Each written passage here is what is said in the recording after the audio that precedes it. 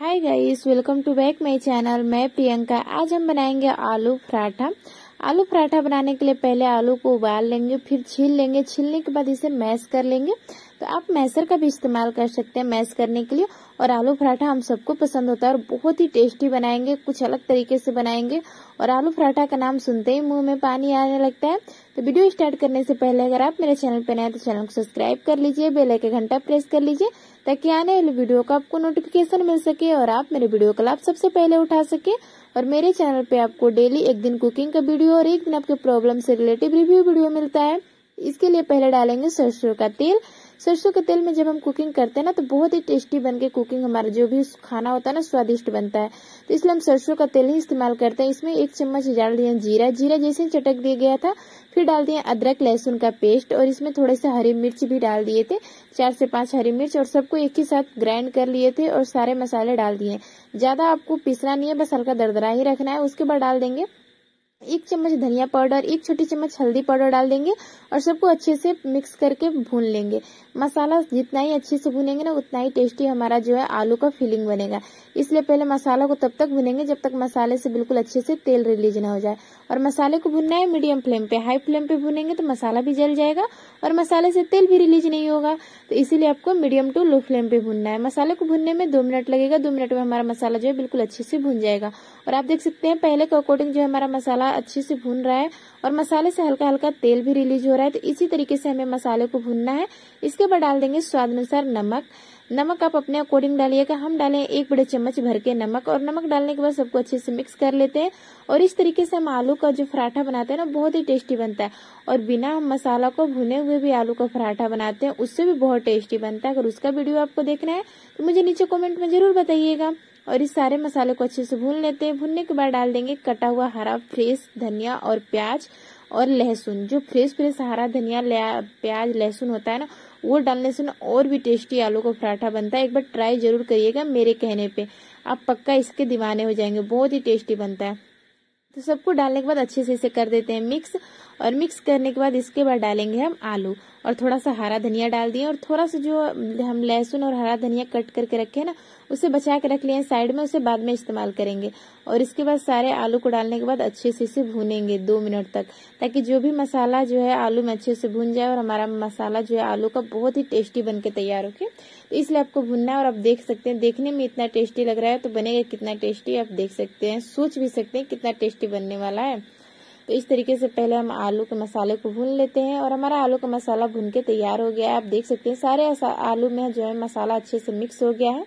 तो अब इसे बनाने के लिए इसे निकाल के रखेंगे और ठंडा होने के बाद हम इसे बनाएँगे।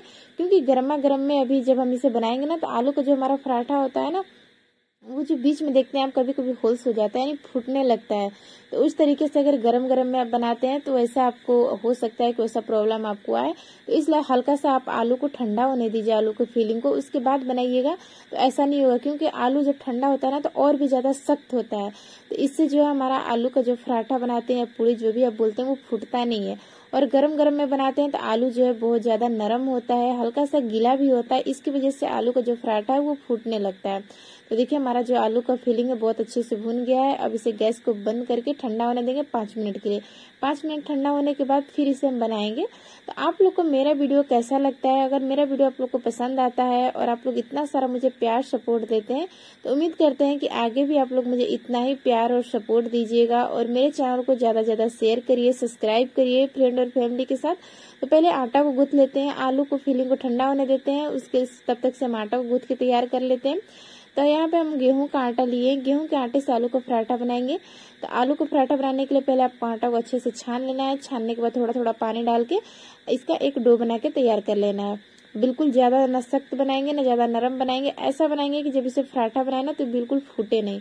उस तरीके से हल्का सा हार्ड बनाएँगे।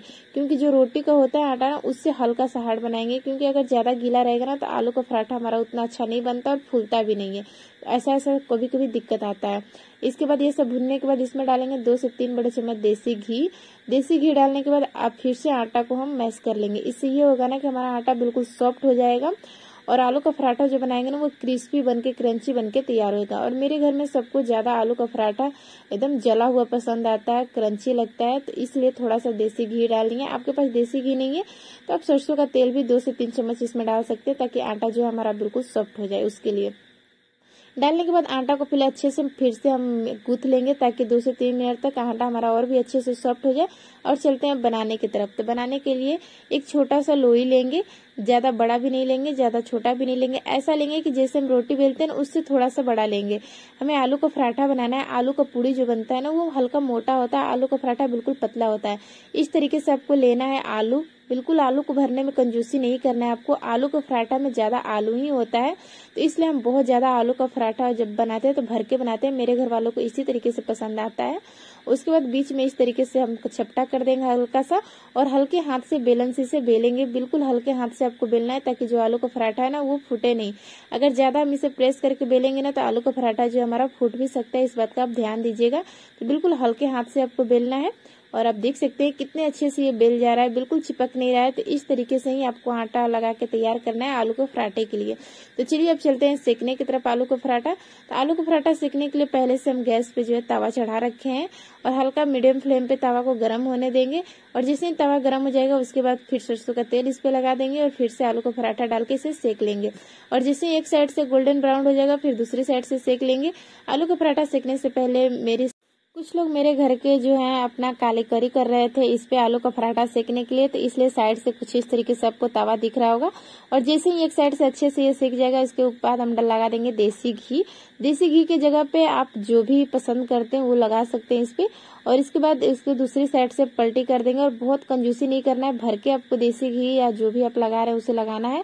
उसके बाद दूसरी साइड से भी पलट के अच्छे से इसे लगा देंगे और इसे बहुत अच्छे से पकाएँगे, यानी गोल्डन ब्राउन होने तक पकाएँगे। ज़्यादा इसे आपको अगर जला हुआ पसंद है तो ज़्यादा इसे जला हुआ पका सकते हैं, या कम पसंद है तो कम पका सकते हैं, पर मेरे घर वालों को ज़्यादा क्रंची पसंद है तो इसलिए इस तरीके से हम आलू का पराठा बना रहे हैं। और आप देख सकते हैं कितने अच्छे से ये फूल रहा है। तो बस हल्का सा आपको प्रेस करना है और बहुत ही अच्छे से ये फूल के तैयार हो जाता है। तो इस तरीके से सारे आलू का पराठा बना के तैयार कर लेंगे और बहुत ही टेस्टी आलू का पराठा बनता है। और आलू का पराठा बनाने के लिए ज़्यादा ही आलू भरिएगा तो आलू का पराठा जो है बहुत ही टेस्टी लगता है। क्योंकि जब आलू का पराठा में बहुत ज़्यादा आलू हम भर के बनाते हैं ना तो वो भले ही उतना नहीं फूलता है, पर हाँ वो बहुत ज़्यादा सॉफ्ट बनता है, क्रंची बनता है और खाने में बहुत ही टेस्टी लगता है। तो फिर से दूसरा आलू का पराठा हम आपको डालकर दिखा देते हैं। इसको फिर से दूसरी साइड से पलटी करके फिर से उसी तरह से देसी घी लगा के दोनों साइड से सेकेंगे। और बहुत ही टेस्टी हमारा आलू का पराठा बनके तैयार हो जाएगा। तो खाइए, पीजिए और इंजॉय करिए। इसे सॉस के साथ ग्रीन चटनी के साथ खा सकते हैं, जो हरे टमाटर और धनिया की और मिर्चा का हम लोग ग्रीन चटनी बनाते हैं ना उससे आप खा सकते हैं और भी टेस्टी लगता है। इस तरीके से सारे आलू के पराठे को हम बना के तैयार कर लेंगे और बना के तैयार करने के बाद आपको फिर दिखाते हैं। तो ये देखिए हमारा सारा आलू का पराठा बनके तैयार हो गया और कितना अच्छा से हमारा आलू का पराठा सीख गया है ना आप देख सकते हैं। बिल्कुल इसी तरीके से मेरे घर में सबको पसंद है इसलिए हम इस तरीके से आलू का पराठा हल्का सा ज़्यादा इसे हम जला के बना रहे हैं। आप इसे कम जला के बनाइएगा अगर आपके घर वालों को नहीं पसंद है तो, तो चलिए मिलते